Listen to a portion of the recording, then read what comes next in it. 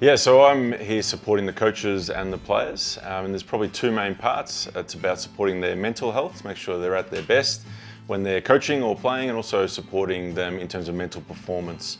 So I think uh, it's a fantastic role. It's a lot of fun, and I think we've got an amazing coaching group who are really driven to improve their coaching. So I love working one-on-one with the coaches about developing their coaching skills, but also bring them together as a group to solve problems and to get them to think about how we create an environment for the players to really thrive. And with the players, it's mainly one-on-one work, but also some small group stuff, really helping them get clear about how they want to play the game and what are some mental skills, tools, techniques they can use to stay aligned to that for as often as possible. So um, it's a fantastic role. It's a lot of fun, that's for sure.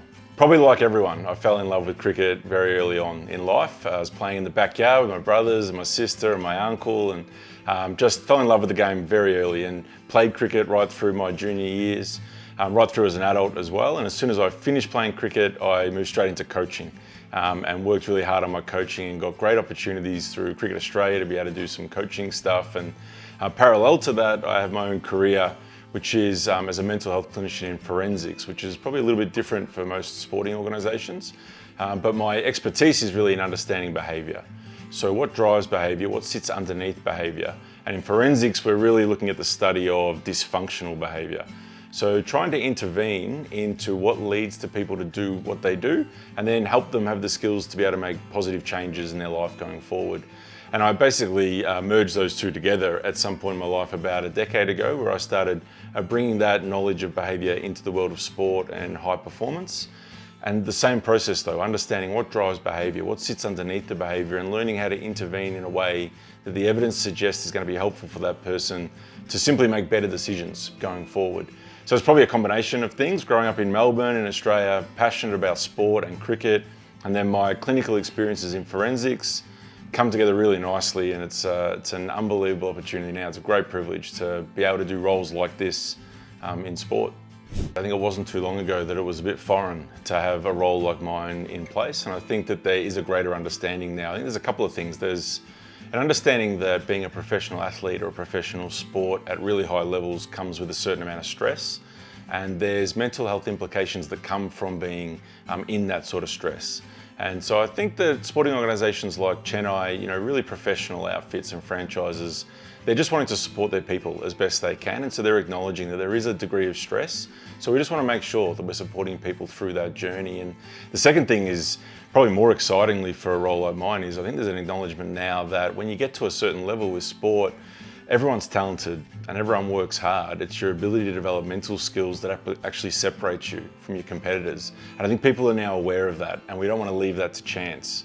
The days of cricketers only working on technique are so far gone. It's players are absolutely wanting to work not only on technique and their bowling action, they want to work on the inner game as well and they want to be guided with that. So working with coaches to be able to coach that better, working with players to be able to develop that side of their game I think those two things now professional organisations are on top of. The awareness of the stress of being a professional athlete, but also the advantage, the, the competitive advantage that comes with developing people's, the mental side of their game. So uh, we talk about a lot of things. A lot of it is very individualised. I think a lot of the, maybe some of the more general things we speak about are things like confidence, a lot of players want to talk about confidence, so we have these great discussions around like where does confidence come from? Does it come from inside of you? Does it come from outside of you? Do you rely on other sources to give you confidence? And then we move the conversation towards so how do you direct your internal narrative, your self-talk, to be able to truly generate confidence in any environment. That's what we want. We want players to be able to be confident in any game, at any venue, in any match scenario. So we speak a lot about confidence. We speak a lot about things like owning the space between deliveries. So a lot of players get a lot of comfort in creating routines that help them come back to what they can control between balls, whether it's a bowler walking back to the top of his mark or a batsman taking 10 seconds between deliveries. Trying to take full control of that time between deliveries so they can arrive at the next ball completely locked in in their ideal competitive mindset. There are a couple of things we talk about and to be honest, here in Chennai, most players just want to talk about how to be like MS Dhoni, how to be calm under pressure, and that won't be a surprise to anyone. I think he's just one of the most remarkable athletes uh, that we've ever had in the sport. He's obviously a great of cricket, and I feel very lucky to have been able to kind of get to know him through my journey here. And Um, he's one of the best embodiments of mental skills you could ever hope for. And so it's a real plus. Every room that he's in here within the walls of Chennai is Karma when he's in the room. And his ability to give to his teammates and help them develop their mental game is amazing. A recent game um, where he was batting, uh, maybe won't say who with, but um, his ability to calm his teammate by telling him to use some breathing to bring his heart rate down while they were out in the middle of the game, trying to win the game for Chennai is amazing, um, amazing for that other player. And even just simple things like being able to understand that the game is actually out of our control. The outcome we can't control. There's too many other variables like umpires and opposition and the weather and the pitch. We actually can't control the outcome. If we could, we'd win every game that we ever play. And his ability to just very lightly accept that we can't control the outcome of games. All we can control is how we step into this next delivery and all of our focus into how we arrive at this next ball. His ability to help his teammates have that same orientation it's a remarkable skill. So I think he's, uh, we're very lucky to have one of the greatest of all time um, here in the franchise, that's for sure. People are more distracted than ever before. And uh, mobile phones have made it so that our attention span is very short. We don't multitask, we don't focus on more than one thing, but we focus on one thing for a very short period of time, and then we move to the next app or the next social media account. And so we move very quickly, so our ability to sustain concentration on one thing and T20 is only a short game compared to Test cricket, but you still have to be able to focus for extended periods. And that's something that I'm worried about with the next generation of cricketers coming through is growing up with mobile phones, we're actually trained, we're de-skilling when it comes to a sustained attention. So practices like meditation, like mindfulness, like actually being able to sit in your own space without a phone is becoming increasingly difficult for that reason. Maybe I might take a performance lens and then a, a mental health lens. The performance lens uh, the game is absolutely all about, at this level, it's about being present in the game and it's about letting the last ball go, flushing the last ball, the last over, in fact, flushing every other moment of your life to date and only being focused on the present moment, this delivery, having a this ball focus. And that's a really difficult thing to do. It's easy to say.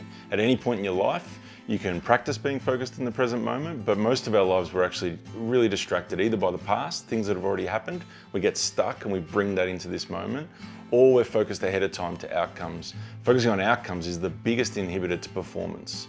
So just from a performance perspective, any aspiring cricketer, just practicing being present is the number one skill that I would say is worth practicing. And the good news is you can practice at any time.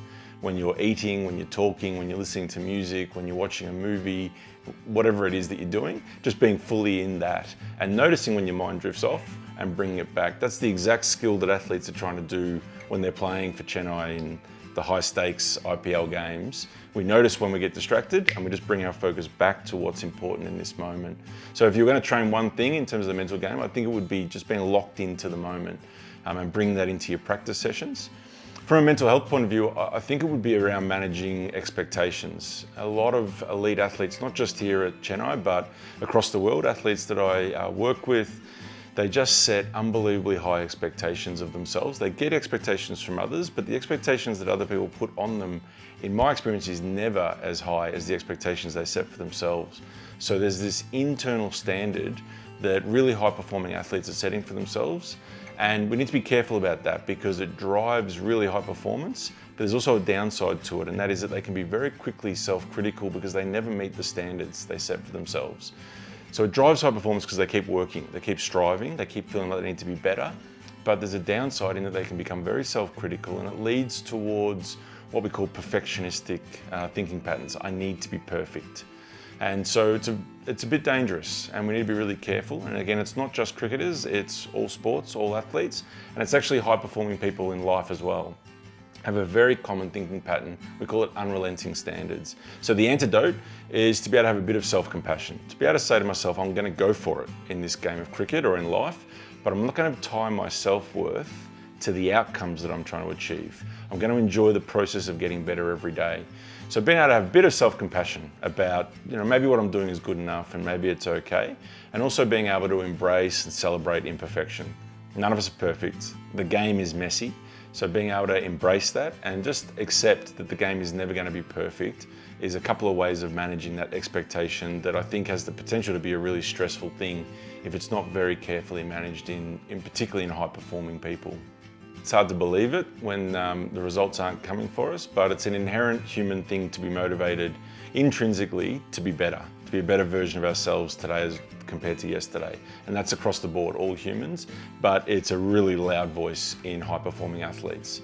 They feel very self-critical if they're not improving every single day. And if they can't honestly sit there and say to themselves, I'm getting better, then they have trouble sitting with that. So I've got a number of projects around the world and they're all great fun, but I don't think I've am involved in anything quite as passionate as Chennai Super Kings. I remember my first experience four years ago, um, arriving, going to Chepauk and just seeing a sea of yellow and I just couldn't believe um, the support that Chennai had and then just watching as we then moved to Delhi and it's the same. Uh, even at Delhi's home ground, it's a sea of yellow and then last year going to Dubai, uh, it's just yellow everywhere we go. And it's um, just one of the most passionate franchises, I think, in world sport. I honestly believe that. I think it's one of the most loved franchises in all of sport, not just in cricket. So it's very easy to kind of see the joy that it brings a huge number of people and probably a number of people that we probably don't quite grasp. There's so many people that follow the game, particularly in India. So to be able to have a small influence on a player that is then bringing that sort of joy or a coach to a huge number of people, it's actually really easy. And the other thing for me is it's just a very interesting, um, professionally it's very interesting. We've got players from the West Indies, from England, South Africa, New Zealand. It's just, it's a crazy mix of people who come together and very quickly form a tight bond as Chennai Super Kings players and coaches.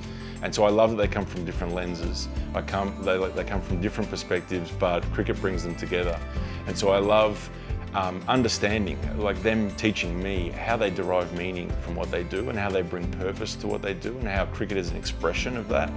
It's a, it's a, it feels like a, a, real privilege for me. So um, I don't have to look too far in terms of purpose with this role. Um, and I certainly feel like being here, I'm getting better at what I'm doing every day because of the environment that, we're, that we've got here. So certainly a lot of fun.